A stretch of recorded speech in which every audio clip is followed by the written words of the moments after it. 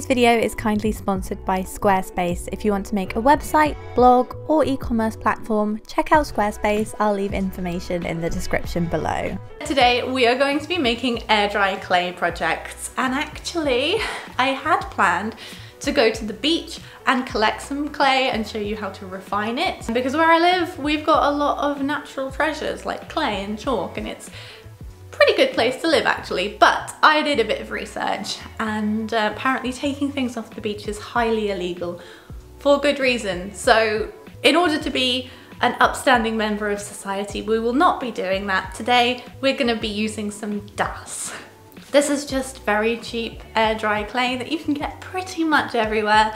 And today I'm gonna be testing out some different techniques, trying to show you some fun ways to create stuff and then decorating it. We're just gonna have fun.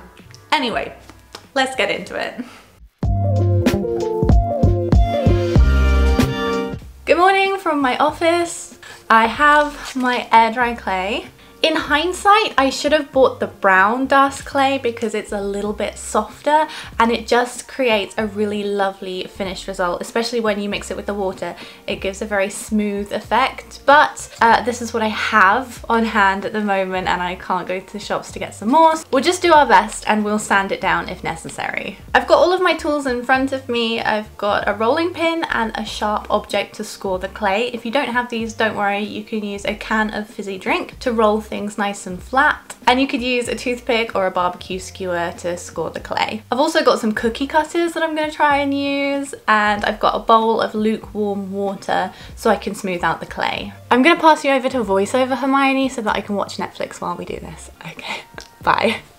Thank you for letting me switch to voiceover. I'm currently on my third round of watching Parks and Rec. It never gets old. Anyway, the first thing I'm going to make is a little trinket dish in the shape of a star, and I'm using cookie cutters from Poundland to keep it quite inexpensive. Now, this one was a little bit difficult for my first piece. I should have left this to last, but it turned out okay. So I cut my shape and softened the edges using my fingers and a little bit of water, and then I rolled out this long sausage shape and pressed it flat to make the edges. I used a pointy implement in, instrument to score the edges of the star to keep it in place and then I started wrapping this the whole way around, making sure to really tuck it into the corners and the points. Uh, it doesn't look like it right now, but I promise I spent quite a lot of time trying to mold the shape. As you can see, it did warp a little bit. I'm not brilliant at sculpting things out of clay, but it was fun nevertheless. And this is all about having fun and just playing around and doing an activity that keeps you entertained in lockdown.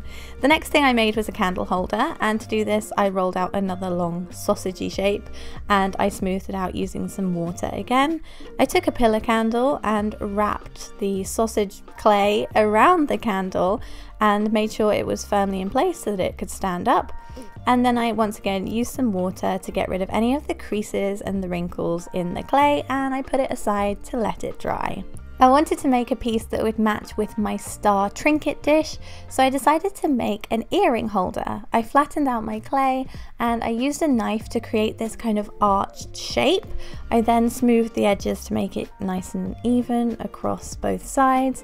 I scored a line where I wanted to fold it because I want this to stand up, so I folded this over and tried to get it to stand up at a 90 degree angle. As you can see, it's a little bit floppy, but don't worry, I have a hack for this. I used an old box and placed it up against the box to dry.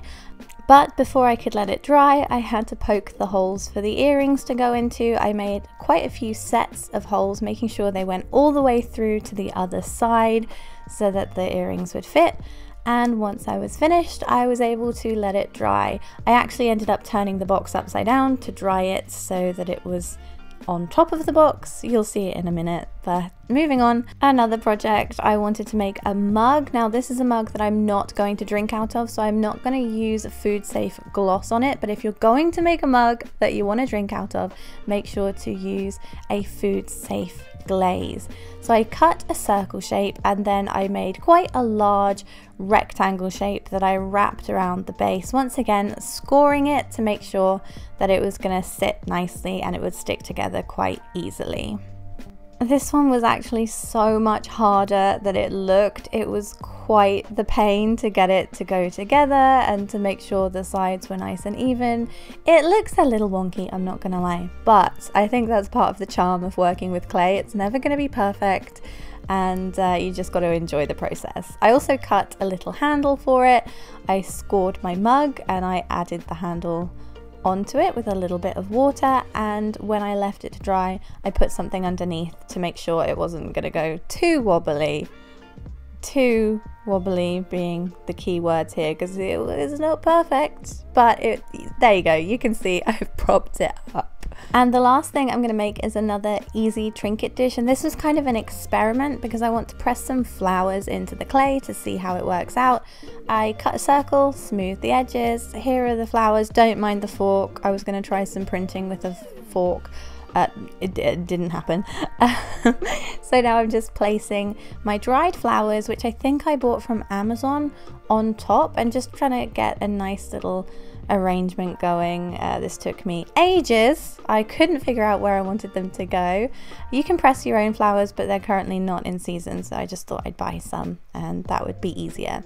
Once I had the uh, shape that I wanted, I pressed them down and made sure they were really tight into the clay using my little uh, rolling pin. I also went back over it with the cookie cutter to ensure that the edges were nice and circular. So once that was done, I actually left this one to dry on a smaller cookie cutter and pressed it in slightly in the middle to give it some raised edges and it dried pretty well.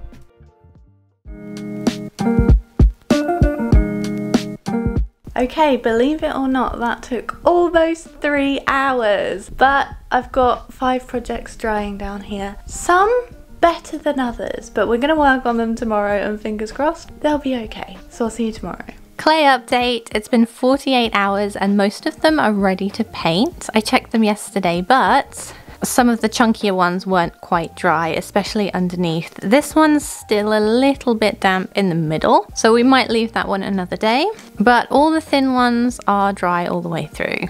Some of them turned out cute, some of them not so much, but we're gonna see if we can fix them. As you can see with the earring holder, I tried to dry it on a box to keep that semi 90 degree angle going. This is being dried on the cutter to give it a little bit of an indent. And the monstrosity that is this mug has been drying with this underneath to keep the handle up. We're gonna work on this. So let's see if we can make some of them look a bit more appealing. Which ones of these can we save with sandpaper? I'm borrowing one of these from my sanding machine because I've run out of light grit sandpaper, but we're gonna do it by hand to be delicate. This clay kicks up a surprising amount of dust, so please be safe and wear a respirator mask and ventilate your space as well as possible.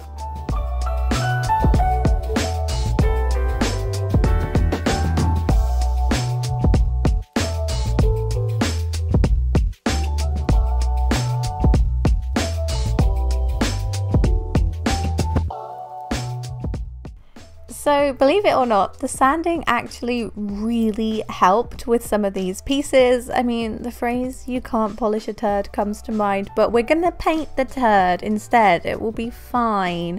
they are looking a lot better than they were. So, for the mug, I painted loads of little pink flowers all over it. I ended up switching to paint pens in the end because my paintbrush was too thick and they were looking a little chunky. It was so much easier to make fine detail with the paint pens. I let all the pieces dry before I coated them with a gloss, which you'll see in a minute. As for the little candle holder, I just did a plain pastel pink and uh, you know, you know I love pink. This would look really nice with a speckle design, but I just wanted to keep this one simple. So with the earring holder and the trinket dish, I started painting them blue, but very quickly realised that I didn't like it. Typical. Um, I don't love how these turned out. They're a bit streaky and the gold is a little bit dull. I thought it would be brighter than that. So I'm gonna spray paint them pink because I am that predictable. Okay.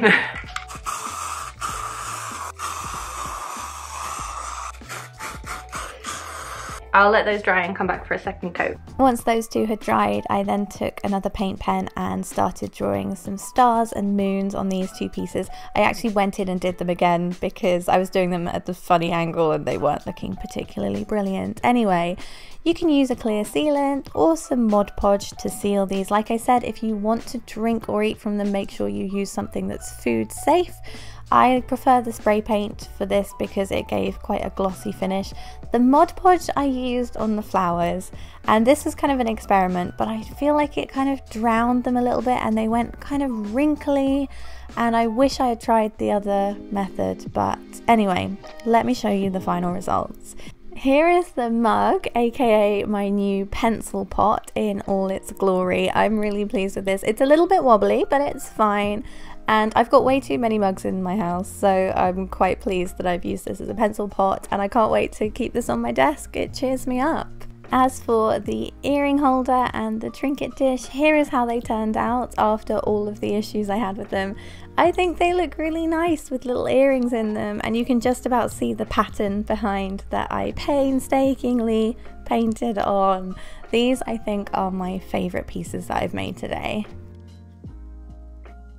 And here's the daisy dish. I'm really pleased with it. It's very cute, but I do think I drowned it with a bit too much Mod Podge to make sure that those daisies wouldn't come off. I think next time I would try and use a little bit less and maybe some clear sealant spray on the top.